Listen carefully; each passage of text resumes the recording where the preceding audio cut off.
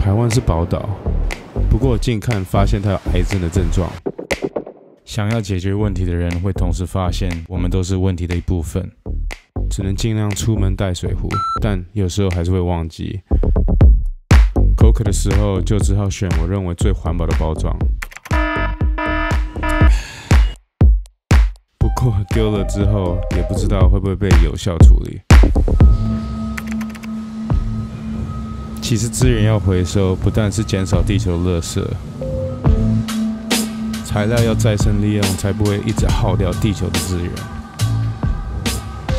但你的纸容器能否到达这里，只有十趴的几率。日本的垃圾分类桶很细，导致后端比较不用花那么多人力处理。台湾呢，常常只有两个。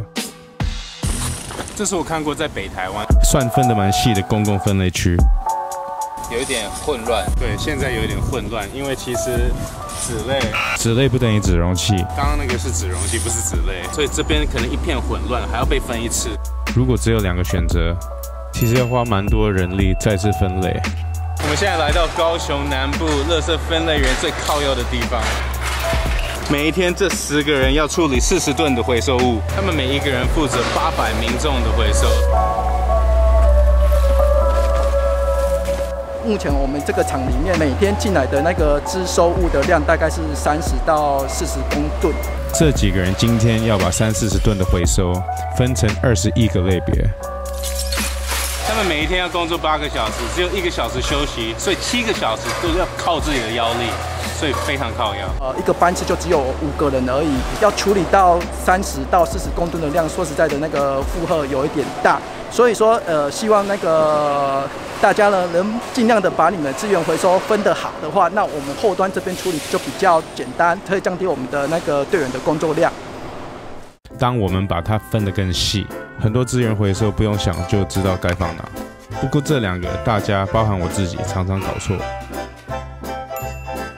这两个回收最后是到完全不一样的工厂，因为纸容器不是纸类。台湾一年会用掉八十亿个纸容器，只回收十 percent。这个工厂要把容器分成纸浆，还有塑胶，所以比其他容器都耗水耗电。我们来做个小小实验：只用纸来做容器，等于少了一般纸容器都有的塑胶膜。当然，严格来说，用了热熔胶也不是百分之百。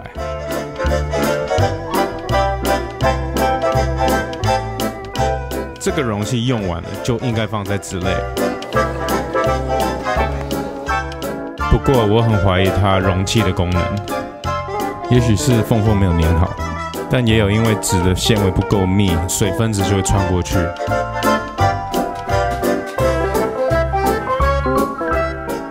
折角已经开始吸水，底部更夸张。结论是纸不是好的容器。也不应该放在同一个回收桶。高雄六合夜市是台湾有最多造型分类回收桶的夜市，但大部分的人都不回收，直接丢垃圾桶。也许设计不好，也许没地方洗容器，大部分的回收还是丢垃圾桶。不过还是有人会停下来思考。刚刚纸容器丢对了，但是它的盖子是塑胶，没有分开。这个想法是有进步空间。这种设计有被民众注意到，不过因为每个桶子好像独立设计，很多人都看不懂。我个人是认为设计简单清楚就好了。两个钟头后累积了很多塑胶以及纸容器，但两倍以上都没有分类，直接放垃圾桶，等于直接到焚化炉。但是高雄环保局有在努力。在大家发大财的同时，也在分类上继续加油。当然，最好是减少一次性用品，垃圾处理真的赶不上垃圾制造。纸类不等于纸容器，让分类人员不要那么靠药。以上讯息来自高雄环保局。